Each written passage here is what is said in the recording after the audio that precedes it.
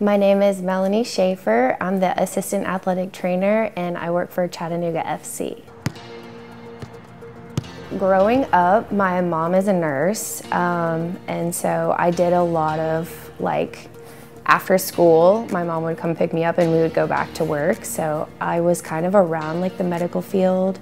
And my senior year of high school, um, we had a sports med class and so I was a student athletic trainer. I personally feel like they were kind of God things that pushed me like to the career path of athletic training.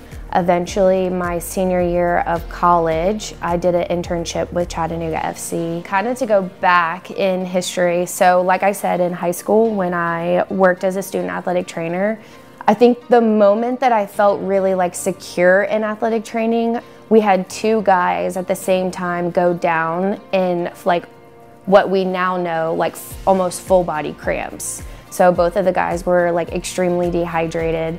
So the head AT was dealing with one guy, and you know, I'm just a little 17, I think I was probably 17 at the time, um, having to listen to what he's saying and, you know, help this other athlete.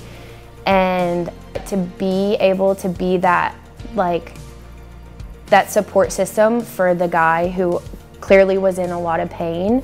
Um, I think that was a big moment for me that I was like, wow, like the impact that I could have on someone, especially in like a very vulnerable time, like that was really encouraging for me because I feel like I've always been kind of that type of person.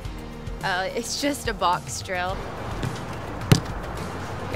using like backpedaling, so you're using different muscle groups to kind of target that they're going to be using like while they're playing a game.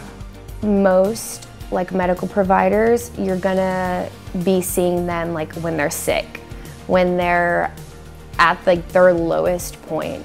Whereas it's very rare in the healthcare field to be able to see like an athlete at their worst while they're progressing to get back to their best and then to actually see like the outcome of them you know returning to play um, scoring goals like saving goals like slide tackling for the first time just different things to actually be able to see the full storyline of the athlete versus just seeing like little snip snippets of it. You're doing six you know that right? what, what would you tell like a, maybe mm-hmm. a young a young woman who's interested in getting involved I mean, really, I think it just starts out with just your interest in sports. Um, you're not just sitting at an office all day. Um, you get to travel. Like there's there's so many perks behind the job. You know, you come to training, and then if you have a home game, and then the following day you might fly to New York, and you're, you know, on a flight and on a bus, and you're staying at a hotel with, you know, 30 other people and you're eating dinners together. And so you learn a lot about connection and we don't follow the typical nine to five schedule. Um, even on our off days, potentially the athletic trainers are working. Um, and if we're not actually at the office working, we're probably still like texting the guys, saying how they're feeling. It really just depends on what the person's likes and dislikes are and encouraging them however they feel that there are different options for athletic training. All the best, On game day, like you're really trying to motivate the guys to kind of get in that right headspace.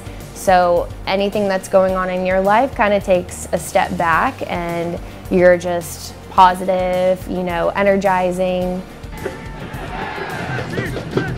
You know, these guys play like at 200% and so you're always, you're kind of on edge a little bit um, just because you're having to, to be ready for potentially anything to happen at that point.